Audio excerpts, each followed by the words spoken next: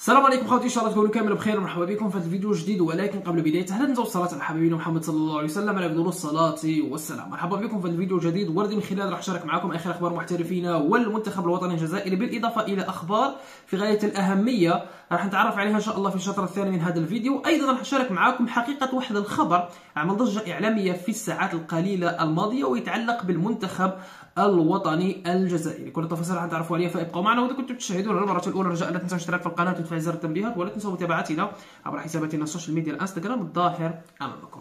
بدون إطالة اعزائي الكرام ندخل مباشرة إلى صلب الموضوع ونستهل هذا الفيديو بالحديث عن الدوري الإنجليزي الممتاز. أين اليوم؟ نادي مانشستر سيتي عاد إلى صدارة الدوري الإنجليزي الممتاز مجددا بعد فوزهم أمام نادي توتنهام.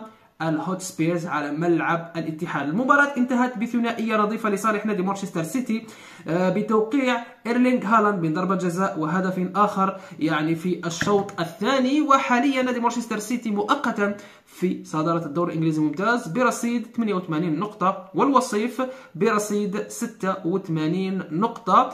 أما بالنسبة للفرق اللي راح يشاركوا في دوري أبطال أوروبا رسميا الموسم المقبل عندنا نادي مانشستر سيتي أرسنال ليفربول وكذلك نادي أستون فيلا أما بالنسبة لنادي توتنهام سيشارك في الدوري الأوروبي ال Europa League.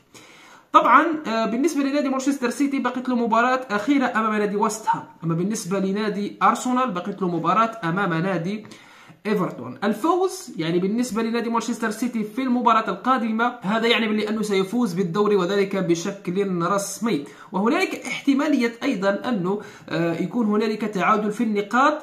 وبالتالي سيتم يعني احتساب عدد الأهداف المسجلة من أجل حسم هوية الفائز بالدوري الإنجليزي الممتاز. المهم اليوم في مباراة نادي مانشستر سيتي وتوتنهام بعد المباراة مدرب نادي توتنهام انتقد الجماهير وذلك بشكل كبير جدا حيث صرح قائلا هذه لم تكن الأجواء المعتادة للجمهور في ملعبنا للأسف. وطبعا للتذكير جماهير سبيرز قامت بالاحتفال بخسارة فريقها ضد نادي مانشستر سيتي يعني حاجة باينة. كان متوقع وحتى قبل المباراة كانوا يعني آه، متوقعين 100% أنه جماهير نادي توتنهام ستساند نادي مانشستر سيتي من أجل الفوز على نادي توتنهام. باه يعني أرسنال ما تحققش الدوري لأنه بيناتهم ديربي فمن المنطقة أعزائي الكرام أنه راح يشجعوا الخصم. يعني تحت مقولة عدو عدوي هو صديقي. يعني بالضبط أعزائي الكرام ما حدث اليوم.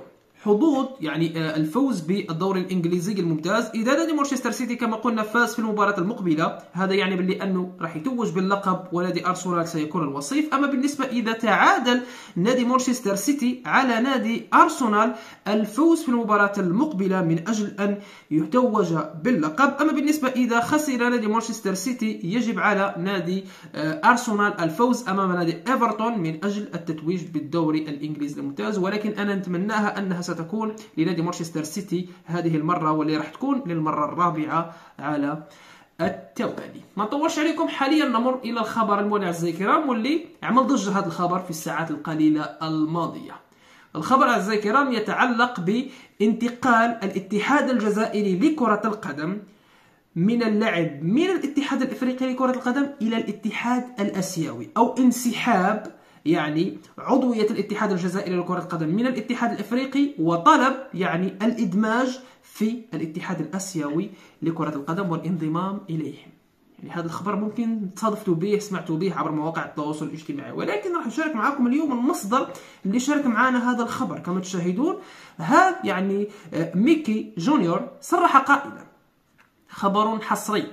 يخطط الاتحاد الجزائري لكرة القدم الآن لمغادرة الاتحاد الإفريقي لكرة القدم والانضمام إلى الاتحاد الآسيوي لأنهم يعتقدون الاتحاد الإفريقي لكرة القدم لم يكن عادلا معهم على الإطلاق ويتركهم خارج عمليات اتخاذ القرارات الرئيسية في كرة القدم الإفريقية. كما أشاروا إلى ما حدث مؤخرا بين نهضة بركان والاتحاد آه، العاصمة كأحد العوامل التي يرغبون في المغادرة.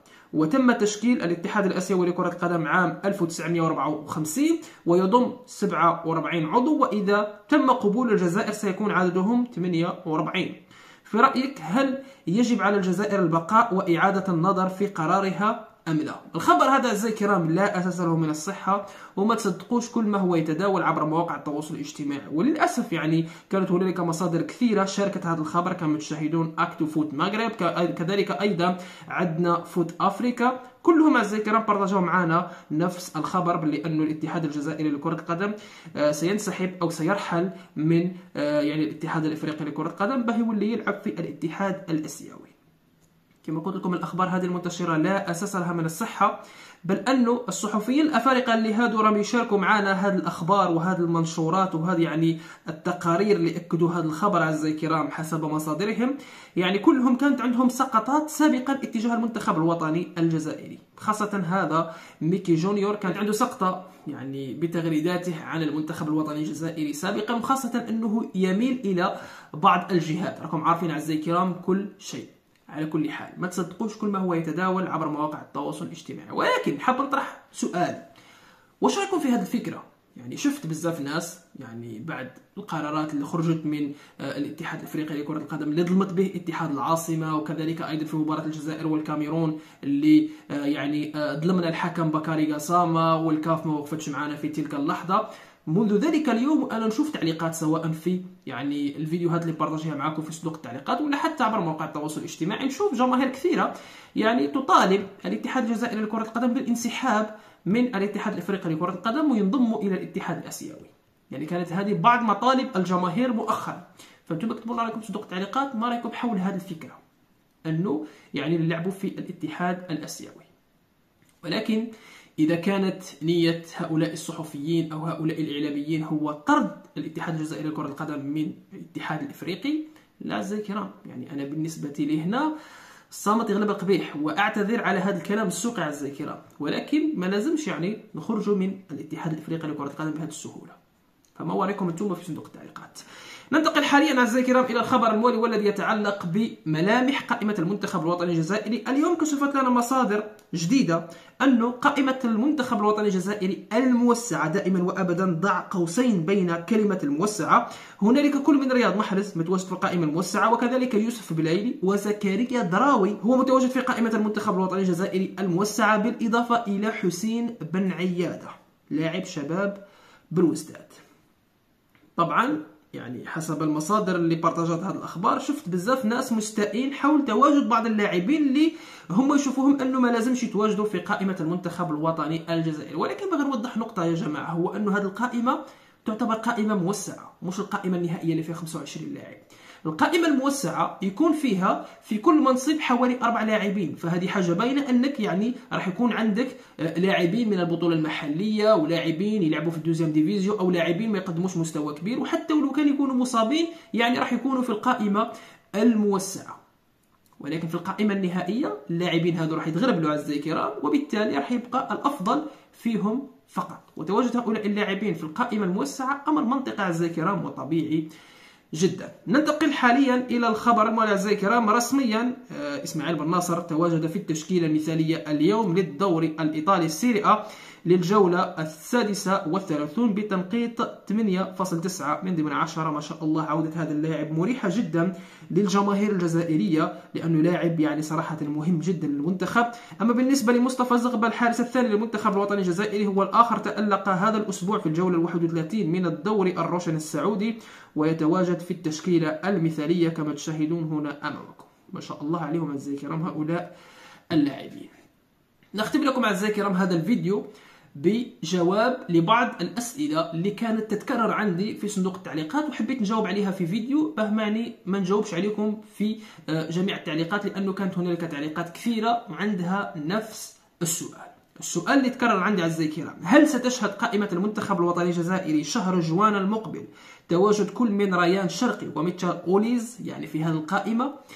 الحقيقة أعزائي الكرام هو أنه يوم الخميس المقبل يوم الخميس المقبل سيكون حاسم جدا لهذين اللاعبين ريان شرقي وكذلك مايكل أوليز حيث سيتم الإعلان والكشف عن قائمة منتخب الديكة ليورو سنة 2024 إذا تم اختيار هؤلاء اللاعبين ووافقوا للعب مع منتخب الديكة فسنقول رسميا ضيعنا لاعبين مهمين جدا كل من ريان شرقي وكذلك مايكل أوليز وفي حال لم يتواجدا هذان اللاعبان في القائمة الخاصة بمنتخب فرنسا فسيستحيل عليهم التواجد في قائمة المنتخب الوطني الجزائري بين قوسين لشهر جوان للمنتخب الوطني الجزائري وذلك بحكم أن الإجراءات الإدارية تأخذ وقت طويل من أجل تغيير الجنسية الرياضية لهؤلاء اللاعبين. ف ماذا بين هؤلاء اللاعبين؟ يعني يكونوا مع المنتخب الوطني الجزائري مستقبلا ولكن في شهر جوان أمر مستبعد جدا لأنه ما تحركوش هؤلاء اللاعبين باه يغيروا الجنسيه تاعهم من الفرنسيه إلى الجزائرية. نتكلم عن الجنسية الرياضية. والأمور الإدارية تأخذ وقت طويل اعزائي الكرام وحنا ما باقيناش بزاف وندخلوا في شهر جوان والقائمة سيتم الإعلان عنها في وقت قريب جدا. فبالتالي ما راح يكونوا في قائمة المنتخب الوطني الجزائري وهذا بشكل مؤكد. على كل حال نتمنى أنه أجبت على هذا السؤال اللي كان يتكرر عندي في صندوق التعليقات آه، بشكل متكرر جدا. وكان هذا الفيديو اليوم. والسلام عليكم ورحمة الله تعالى وبركاته. السلام